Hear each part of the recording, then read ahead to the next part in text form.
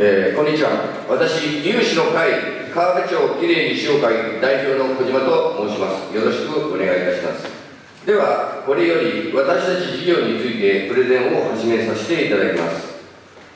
今回川辺町内に流れる木田川ダム湖を中心に沿岸及びその周辺道路を清掃することにより新しいまちづくりを目指す活動を行っております。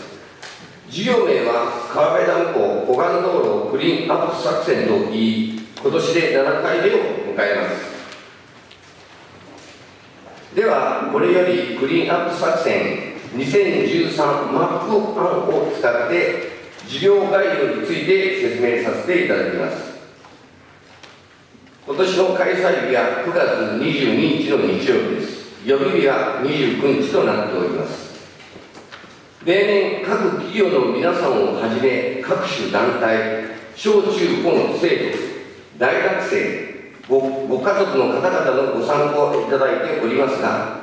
今回のつながる事業社会貢献の趣旨を踏まえ日高木曽川流域市町村にもこうした活動の輪を広めていきたいと考えております。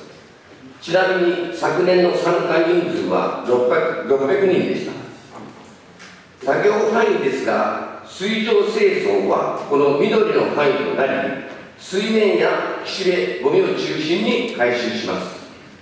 また陸上清掃は赤い線のところで川辺ダム湖湖岸道路を中心にゴミを拾い集めます。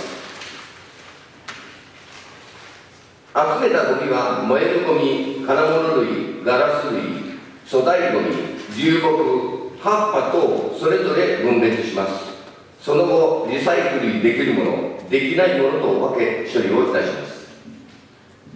こちらが実施用法案となります。なお概要につきましては先ほど説明したので省略させていただきます。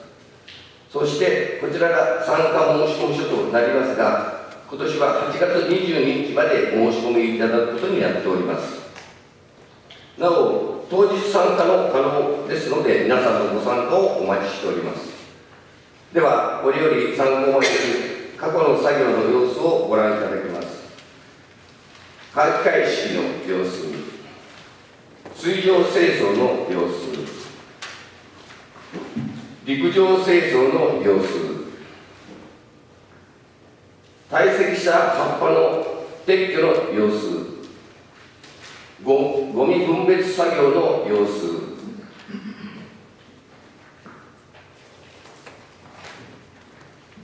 過去のゴミの収集のと参加人数。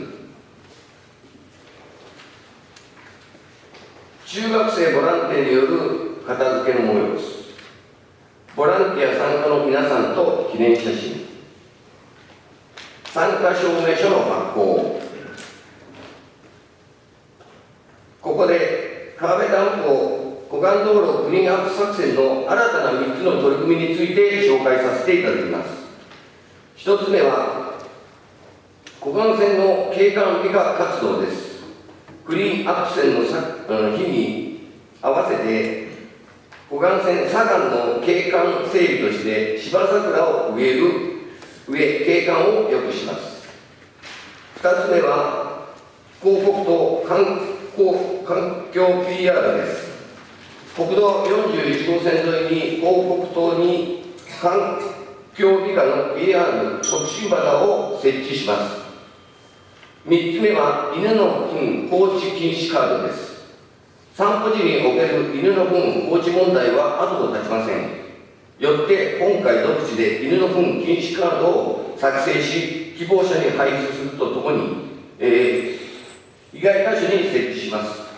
以上が平成25年度から新たに活動となります。以上で川辺ダム湖クリーンアップ作戦のプレゼンを終わらせていただきます。なお今後先ほど説明しましたが近接の北川木曽川の流域市町村に対しても本事業の参加を実施を呼びかけ活動の輪を広げるとともにつながる事業として継続してまいりたいと考えております。ご清聴ありがとうございました